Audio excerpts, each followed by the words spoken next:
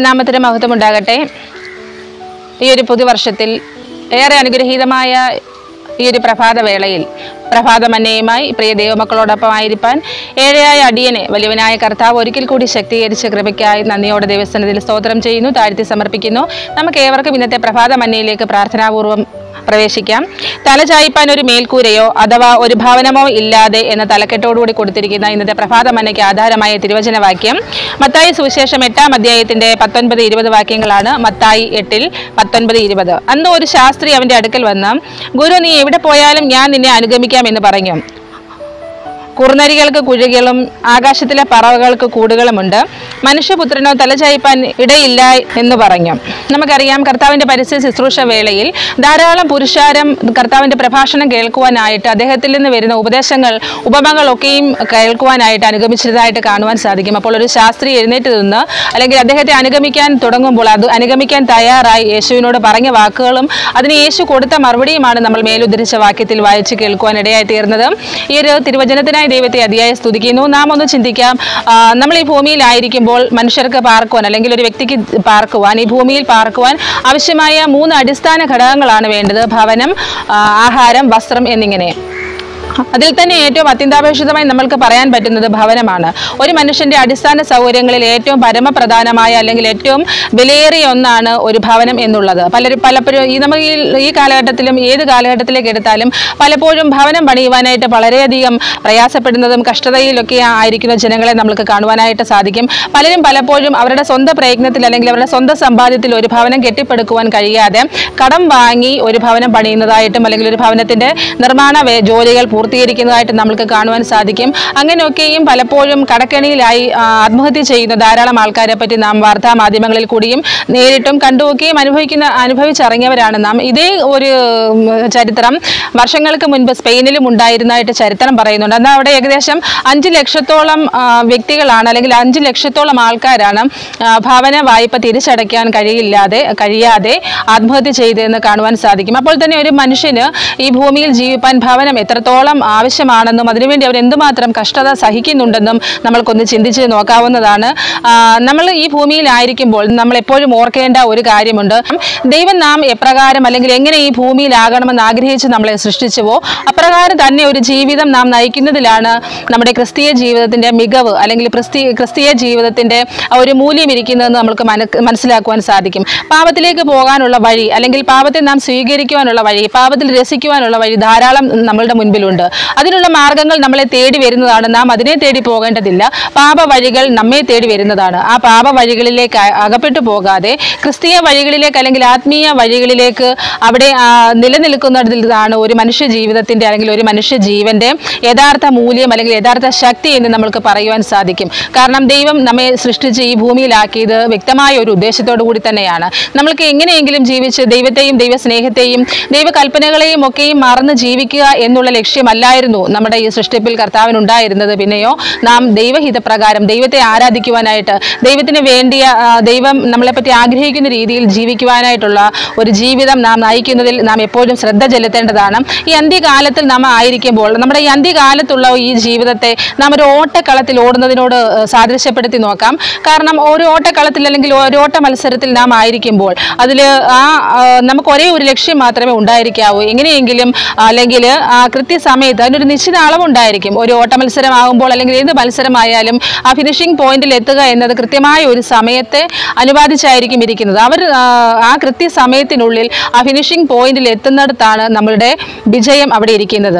Turning points അങ്ങോട്ടും ഇങ്ങോട്ടും ഒക്കെയും തിരിയാനുള്ള വഴികൾ ആ സമയത്ത് നമ്മുടെ മുൻപിലുള്ളപ്പോൾ നല്ലതെന്നും എളുപ്പമെന്നും കണ്ട് നമ്മൾ പല ടേണിംഗ് പോയിന്റ്സിലേക്ക് തിരിഞ്ഞു പോകുകയാണെങ്കിൽ നമുക്കൊരിക്കലും ആ ലക്ഷ്യത്തിലേക്ക് ആ ഫിനിഷിംഗ് പോയിന്റിലേക്ക് നിശ്ചിത സമയത്തിനുള്ളിൽ എത്തുവാൻ സാധിക്കില്ല എന്ന് നമുക്ക് മനസ്സിലാക്കാം. അതുപോലെ നമ്മുടെ ജീവിതത്തെ നാം ഒന്ന് എടുക്കുകയാണെങ്കിൽ നമ്മുടെ ഈ ജീവിത കാലത്തിലൂടെ അല്ലെങ്കിൽ ജീവിത പാതയിലൂടെ ഓടുമ്പോൾ ടേണിംഗ് പോയിന്റ്സ് ആയി അല്ലെങ്കിൽ വഴിത്തിരിവുകളായി നമ്മുടെ മുൻപിൽ ഒരുപാട് പാതകൾ വരുന്നതായിട്ട് നമുക്ക് കാണുവാൻ സാധിക്കും. ആദ്യം പറഞ്ഞതുപോലെ തന്നെ നമുക്ക് ഹിതമല്ലാത്ത മാർഗത്തിലൂടെയുള്ള അസന്മാർഗിക മാർഗത്തിലൂടെ കൺമോഹത്താലും ജഡമോഹത്താലും ഒക്കെയും നമ്മളെ പാപത്തിലേക്ക് നയിക്കുന്ന ധാരാളം വഴിത്തിരിവുകൾ വഴിപ്പിരിവുകൾ നമ്മളുടെ ഈ ജീവിതത്തിൽ നാം കണ്ടുമുട്ടാൻ ഇടയുണ്ട് നാം അതിനെ അഭിമുഖീകരിക്കാനും ഇടയുണ്ട്. പക്ഷേ അതിനെയൊക്കെയും നാം വേണ്ടെന്ന് വെച്ചുകൊണ്ട് അതിനെയൊക്കെയും വേണ്ടെന്ന് വെച്ചുകൊണ്ട് അതൊക്കെയും വേണ്ട എന്നൊരു ഉത്തമ ബോധ്യത്തോടു കൂടി നല്ല ഒരു ചിന്തയോടുകൂടി ദൃഢമായ തീഷ്ണമായ ഒരു ആത്മബോധത്തോടു കൂടി മുന്നിലേക്കുള്ള ലാക്കിലേക്ക് മാത്രം ഓടുമ്പോൾ ആ ഫിനിഷിംഗ് പോയിന്റിൽ എത്തുമ്പോൾ നമ്മൾക്ക് അവിടെ ലഭിക്കുന്നത് ഒരു ജീവകിരീടമാണ്. ആ ജീവകിരീടം പ്രാപിച്ചുകൊണ്ട് നീതിയും കൃപയും ദൈവസ്നേഹവും ഒക്കെയും ആ ജീവകിരീടത്തെ അമൂല്യമാക്കി തീർക്കുന്നതായിട്ട് നമുക്ക് കാണുവാൻ സാധിക്കും. ഒരു മനുഷ്യനിൽ നിന്നും അല്ലെങ്കിൽ ഒരു സംഘടനയിൽ നിന്നോ എന്ത് എന്തിൽ നിന്നൊക്കെ നമ്മൾക്ക് കിട്ടുന്ന കിരീടങ്ങളിലേക്കാൾ അല്ലെങ്കിൽ ട്രോഫികളെക്കാളിലൊക്കെയും എത്രയോ മഹത്തരമാണ് നമ്മുടെ ദൈവം നമ്മൾക്കായി നൽകുന്ന ആ ജീവകിരീടം പ്രാപിക്കുക എന്നുള്ളത്. അപ്പം നമ്മുടെ ഈ ഭൂമിയിലെ ജീവിതത്തിൽ ഈ ഓട്ടക്കളത്തിൽ നമ്മുടെ ലക്ഷ്യം ഒന്ന് മാത്രമായിരിക്കണം. നാം വിരുദോടെ ഓടി നീതിയോടെ ഓടി ആ ലക്ഷ്യം പ്രാപിക്കുക എന്നുള്ളതായിരിക്കണം. ആ ജീവകിരീടം നേടുക എന്നുള്ളത് മാത്രമായിരിക്കണം നമ്മുടെ പരമമായ ജീവിത ലക്ഷ്യം. ആ ജീവകിരീടം പ്രാപിച്ചുകൊണ്ട് നമ്മുടെ ദൈവത്തോട് ഒരുമിച്ച് ഒരു വാസം അത് മാത്രമായിരിക്കണം നമ്മുടെ ലക്ഷ്യം. ഈ അന്ത്യകാലത്തിൽ പറയുകയും കേൾക്കുകയും ഒക്കെയും ചെയ്യുന്ന പ്രസംഗങ്ങളിൽ സുവിശേഷങ്ങളിൽ അല്ലെങ്കിൽ വേദപഠന ക്ലാസ്സുകളിലൊക്കെയും നമ്മളെ ഓർമ്മിപ്പിച്ചുകൊണ്ടിരിക്കുന്നതും ഉദ്ബോധിപ്പിച്ചുകൊണ്ടിരിക്കുന്നതുമായ പരമപ്രധാനമായ കാര്യം ഒന്ന് മാത്രമേ ഉള്ളൂ. ക്രിസ്തുവിന്റെ വരവ് ഏറ്റവും അടുത്തിരിക്കുന്നു. അപ്പോൾ നാം ആ വരവിന് വേണ്ടി ഒരുങ്ങുന്നവരും അനേകരെ ഒരുക്കുന്നവരുമായിരിക്കുക എന്നുള്ളതാണ് നമ്മുടെ ക്രിസ്തീയ ജീവിതത്തിന്റെ ലക്ഷ്യം. അത് മറന്നും മറന്നു പോകാതെ ഇരുന്നുകൊണ്ട് നമ്മളത് ഓർത്ത് ആചരിക്കേണ്ട കാര്യമാണ് അല്ലെങ്കിൽ ഓർത്ത് ചെയ്യേണ്ട കാര്യമാണ്. അതുപോലെ തന്നെ നാം ഈ ഭൂമിയിലായിരിക്കുമ്പോൾ നമ്മൾക്ക് ചെയ്യുവാനായിട്ട് സാധിക്കുന്ന അനേകം നല്ല കാര്യങ്ങളുണ്ട്. നാം ഈ നമ്മളെക്കാൾ കഷ്ടതയുള്ളവരെ നമുക്ക് മറ്റുള്ളവരെ പരസ്പരം സഹായിപ്പാൻ കഴിയുന്നവരായിരിക്കണം. സാമ്പത്തിക സഹായം കൊണ്ട് നമ്മൾക്ക് എല്ലാവരും സഹായിപ്പാനോ ഒന്നും കഴിയാത്ത ഒരു അവസ്ഥ വരുമ്പോൾ നാം പ്രാർത്ഥനയിൽ അവരെ സഹായിക്കുന്നവരായി തീരണം. മറ്റൊരാളുടെ ആവശ്യം കണ്ടുകൊണ്ട് മറ്റൊരു രോഗിയായിരിക്കട്ടെ അല്ലെങ്കിൽ കട കടഭാരങ്ങളാൽ ഭാരപ്പെടുന്ന ഒരു വ്യക്തിയായിരിക്കട്ടെ ജീവിത പ്രതികൂലങ്ങളിൽ മനസ്സ് തകർന്നിരിക്കുന്ന ഒരു വ്യക്തിയായിരിക്കട്ടെ അങ്ങനെ പല ഘട്ടങ്ങളിലുള്ള ചില വ്യക്തികളെയൊക്കെ നാം നേരിട്ടറിയുകയും അല്ലാതെ പറഞ്ഞും കേട്ടും ഒക്കെയും അറിയുന്ന മാർഗങ്ങൾ നമ്മളുടെ മുൻപിലുണ്ട്. അങ്ങനെയൊക്കെയും അറിയുമ്പോൾ നാം അത് കണ്ട് ഊമരായി ഇരിക്കുവാനല്ല ദൈവം നമ്മളെ പറ്റി ആഗ്രഹിക്കുന്നത്. പിന്നെയോ നമ്മൾ പ്രാർത്ഥനയിൽ അവർക്ക് വേണ്ടി നാം കരങ്ങി പ്രാർത്ഥിക്കുമ്പോൾ നമ്മുടെ പ്രാർത്ഥനയ്ക്ക് മറുപടിയായി ദൈവം നമ്മുടെ ജീവിതത്തെ അനുഗ്രഹിക്കുകയും നമ്മുടെ കണ്ണുനീർ സ്വർഗത്തുരുത്തിയിൽ നിറച്ചു വെച്ചുകൊണ്ട് ആ തുരുത്തിയിൽ അതുപോലെയുള്ള നിറങ്ങി കവിയുന്ന അനുഗ്രഹങ്ങളും നന്മകളും ദൈവം നമ്മൾക്ക് നൽകുകയും ചെയ്യും. നമ്മുടെ പ്രാർത്ഥന സ്വർഗം തുറക്കുന്ന താക്കോലാണ് പ്രാർത്ഥന. നമ്മുടെ പ്രാർത്ഥന കാരണം ഒരു രോഗി മാനസാന്തരപ്പെട്ട് ഒരു രോഗി സൗഖ്യമായാൽ ഒരു പാപി മാനസാന്തരപ്പെട്ടാൽ കടക്കണിയിലായിരിക്കുന്ന ഒരു വ്യക്തിക്ക് അതിൽ അതിൽ നിന്നൊരു വിടുതലിനുള്ള അല്ലെങ്കിൽ അത് അതിന്റെ ആ, കടം വീട്ടുവാനുള്ള ഒരു മാർഗം നമ്മുടെ പ്രാർത്ഥനയാൽ ഒരു വഴി ഒരുങ്ങി കാണുകയാണെങ്കിൽ അതൊക്കെയും നമ്മുടെ ആത്മജീവിതത്തിന്റെ അല്ലെങ്കിൽ ക്രിസ്തീയ ജീവിതത്തിന്റെ ഒരു നേട്ടമാണെന്ന് നമ്മൾക്ക് പറയുവാൻ സാധിക്കും. നാം നമ്മുടെ സഹജീവികളോട് അല്ലെങ്കിൽ നമ്മുടെ നമ്മൾ നമ്മളെപ്പോഴും കാണുന്ന നമ്മുടെ സഹവാസികളോട് നാം ഒരു അലിവും സ്നേഹവും അനുകമ്പയും ഉള്ളവരായിരിക്കണം. ഇവിടെ പിന്നെ യോഹനാന്റെ ഒന്ന് യോഹനാൻ മൂന്നിന്റെ പതിനേഴിൽ ഇപ്രകാരം പറയുന്നു. ഞാൻ എന്നാൽ ഈ ലോകത്തിലെ വസ്തുവകയുള്ളവൻ ആരെങ്കിലും തന്റെ സഹോദരന് മുട്ടുള്ളത് കണ്ടിട്ട് അവനോട് മനസ്സലിവ് കാണിക്കാഞ്ഞാൽ ദൈവത്തിന്റെ സ്നേഹം അവനിൽ എങ്ങനെ വസിക്കും? നമ്മളിൽ ദൈവസ്നേഹം വേണമെന്നുണ്ടെങ്കിൽ അല്ലെങ്കിൽ ദൈവത്തിന്റെ സ്നേഹം ദൈവത്തിന്റെ കരുണ ദൈവത്തിന്റെ കൃപ നമ്മുടെ മേൽ ചൊരിയണമെന്നുണ്ടെങ്കിൽ അത് നാം അനുഗ്രഹ പ്രാപിക്കണമെന്നുണ്ടെങ്കിൽ അത് നാം അനുഭവിക്കണമെന്നുണ്ടെങ്കിൽ നാമും നമ്മൾ കാണുന്ന മുൻപ് പറഞ്ഞതുപോലെ തന്നെ കഷ്ടത അനുഭവിക്കുന്നവർക്ക് വേണ്ടി അല്ലെങ്കിൽ പ്രാർത്ഥന ആവശ്യമുള്ളവർക്ക് വേണ്ടി നാം പ്രാർത്ഥിക്കുന്നവരായി തീരിക്കണം പ്രാർത്ഥനയിൽ മടുത്തു പോകാതെ നാം ജാഗരിക്കുന്നവരായി തീരണം. പ്രാർത്ഥന മാത്രമാണ് ഈ ഓട്ടക്കളത്തിൽ ഓടി വിരുദ് പ്രാപിക്കുവാൻ ജീവകിരീടം നേടുവാൻ നമുക്കുള്ള ഒരേ ഒരു ലക്ഷ്യം ഒരേ ഒരു മാർഗം അത് ഒരേ ഒരു മുന്നൊരുക്കം എന്ന് പറയുന്നത് പ്രാർത്ഥന മാത്രമാണ്. ഇടിവിൽ നിന്നുകൊണ്ട് അനേകർക്ക് വേണ്ടി അനേകർക്ക് വേണ്ടി ഈ ദിവസക്കാലം പ്രാർത്ഥിക്കുവാൻ നമ്മൾക്ക് കഴിയട്ടെ എന്ന് ആത്മാർത്ഥമായിട്ട് നമ്മൾക്ക് ഒരുമിച്ച് പ്രാർത്ഥിക്കാം. മലാഹി പ്രവചനം നാലാം അധ്യായത്തിന്റെ ഒന്നാം വാക്യത്തിൽ മലാഹി പ്രവാചകൻ പാലസ്തീൻ തെരുവുകളുടെ മനോഹാരിത പശ്ചാത്തലമാക്കി ഇപ്രകാരം വിളിച്ചു പറയുന്നതായിട്ട് നമുക്ക് കേൾക്കുവാൻ സാധിക്കും. ചൂള പോലെ കത്തുന്ന ഒരു ദിവസം വരും. അന്ന് അഹങ്കാരികളൊക്കെയും സകല ദുഷ്പ്രവർത്തിക്കാരും താളടിയാകും. വരുവാനുള്ള ആ ദിവസം വേരും കൊമ്പും ശേഷിപ്പിക്കാതെ നിങ്ങളെ ദഹിപ്പിച്ചു കളയുമെന്ന് സൈന്യങ്ങളുടെ യഹോവ അരുളി ചെയ്യുന്നു. മലാഹി പ്രവാചകൻ അരുളി ചെയ്തത് അല്ലെ സൈന്യങ്ങളുടെ യഹോവയായ കർത്താവ് നമ്മോട് അരുളി ചെയ്ത ആ ഒരു വസ്തുതയ്ക്ക് ഒത്തവണ്ണം. ആ ചൂള പോലെ കത്തുന്ന ദിവസത്തിൽ നിന്ന് ആ ചൂള പോലെ കത്തുന്ന ദിവസത്തിലെ വെറും എന്ത് വെണ്ണീറായി ചാരമായി പോകാതെ നിത്യജീവൻ പ്രാപിക്കുവാൻ ആ ജീവകിരീടം പ്രാപിക്കുവാൻ ദൈവം നമുക്കായി ഒരുക്കിയിരിക്കുന്ന ആ സ്വർഗീയ ഭവനത്തിന്റെ അംശികൾ മോഹരിക്കാരുമായി തീരുവാൻ ദൈവത്തോട് ഒരുമിച്ച് ദൈവത്തെ ആരാധിപ്പാൻ ഒരു സ്വർഗീയ ജീവിതം ഒരു ആത്മീയ ജീവിതം നമ്മളെ തേടി വരട്ടെ. അതിനായി നമുക്ക് പ്രാർത്ഥിക്കാം. അനേകർക്ക് വേണ്ടി പ്രാർത്ഥിക്കാം. അത് നമ്മുടെ ജീവിതത്തിന് തന്നെ ഒരു അനുഗ്രഹമായി തീരും.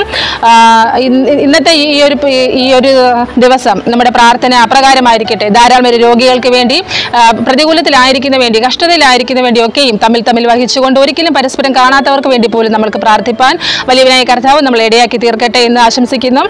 അതുപോലെ ഇന്ന് ജന്മദിനം ദിനം ആഘോഷിക്കുന്ന Thankamma Prasad Nedungadappally V P John Kuttapuzha. ഇവരെ ദൈവകരങ്ങളിലേക്ക് സമർപ്പിക്കുന്നു. ദൈവം അവരുടെ ജീവിതത്തെ അതിയായി അനുഗ്രഹിക്കട്ടെ. ഏറ്റവും അനുഗ്രഹമായ രീതിയിൽ അവരെ വഴി നടത്തട്ടെ. ഇതിനു ഇതുവരെ നടത്തിയ ദൈവം ഇനിയും അവരെ സമൃദ്ധമായി കരുതട്ടെ. അവരുടെ ജീവിതത്തിൽ എല്ലാ അനുഗ്രഹങ്ങളും നന്മകളും ആയുസ്സും ആരോഗ്യമൊക്കെയും ദൈവം കൊടുക്കട്ടെ എന്ന് ആശംസിക്കുകയും പ്രാർത്ഥിക്കുകയും ചെയ്യുന്നു നമുക്ക് അവർക്ക് വേണ്ടിയും നമ്മൾ പറഞ്ഞ എല്ലാ കാര്യങ്ങൾക്ക് വേണ്ടിയും ഇന്നത്തെ പ്രഭാതത്തിൽ നമുക്ക് ഒരുമിച്ച് പ്രാർത്ഥിക്കാം. ദൈവം നമ്മളെ ഏവരെയും അനുഗ്രഹിക്കട്ടെ. നിത്യരും പരിശുദ്ധമായ കണ്ട കർത്താവെ സ്വർഗി നല്ല പിതാവേ നല്ല പ്രഭാതത്തിനായി നന്ദിയോടെ സ്തുതിക്കുന്ന കർത്താവെ. അടിങ്ങൾ കേട്ട നല്ല തിരുവചനത്തിനും നല്ല ചിന്തകൾക്കുമായി ദൈവത്തെ അതിയായി സ്തുതിക്കുന്ന കർത്താവെ. അടിങ്ങൾ പരസ്പരം പ്രാർത്ഥനയിൽ ഉറ്റിരിക്കുന്നവരായി തീരാൻ പരസ്പരം സഹായിക്കുന്നവരായി തീരുവാൻ ഈ ഓട്ടക്കളത്തിൽ കർത്താവെ വിരുദ് പ്രാപിക്കുക എന്ന ലക്ഷ്യത്തോടെ കർത്താവെ ജീവകിരീടം പ്രാപിക്കുക എന്ന ലക്ഷ്യത്തോടെ ഓടുന്നവരായി തീരുവാൻ അടിയങ്ങളെ ഒരുക്കുമാറാണ്. എന്ന് പ്രാർത്ഥിക്കുന്നു. അടിങ്ങൾ മുഖാന്തരം അനേകർ പേർ കർത്താവെ ദൈവത്തിങ്കിലേക്ക് ആദായപ്പെടുവാനും അനേകരുടെ രോഗങ്ങൾ സൗഖ്യമാക്കുവാനും കർത്താവെ പാപങ്ങളിൽ നിന്ന് മാനസാന്തരപ്പെടുവാനും അനേകരുടെ കർത്താവെ കടഭാരങ്ങൾ വീടുവാനും ഈ അടിയങ്ങൾ തമ്മിൽ തമ്മിൽ പ്രാർത്ഥിക്കുമ്പോൾ സ്വർഗമേ അവിടുന്ന് വഴി തുറക്കുമാറാവണമേ എന്ന് പ്രാർത്ഥിക്കുന്നു. ശ്രദ്ധ വെച്ച് അടിയങ്ങളെ പ്രാർത്ഥന കേൾക്കുന്ന നല്ല ദൈവമേ ഇന്ന് കർത്താവെ അടിയങ്ങളെ പ്രാർത്ഥന കേട്ട കൃപയ്ക്കായി സ്തുതിക്കുന്ന കർത്താവെ പ്രത്യേകമായി ഇന്ന് ജന്മദിനം ആഘോഷിക്കുന്ന രണ്ട് മക്കളെയും അവിടുത്തെ കരങ്ങളിലേക്ക് തരുന്നു കർത്താവെ. അവരെ അധികമായി ദൈവം അനുഗ്രഹിക്കുമാറാണ് കർത്താവെ ജീവിത നന്മകൾ കൊടുക്കുമാറാണ് ആയുസോടെ ആരോഗ്യത്തോടെ കർത്താവെ ആത്മീയ ബലത്തോടെ ആയിരിക്കാൻ സഹായിക്കുമാറാണ് എന്ന് പ്രാർത്ഥിക്കുന്നു. അവരുടെ കുടുംബങ്ങളുടെ എല്ലാ ആവശ്യങ്ങളിലും സ്വർഗീയക്കാരം കൂടിയിരിക്കുമാറാണ് കർത്താവെ. അടിയങ്ങൾ കർത്താവെ പ്രാർത്ഥന കേട്ട കൃപയ്ക്കായ സ്തോത്രം. യേശുവിന് വിലപ്പെട്ട നാമത്തിൽ തന്നെ ആമേൻ. സ്തോത്രം.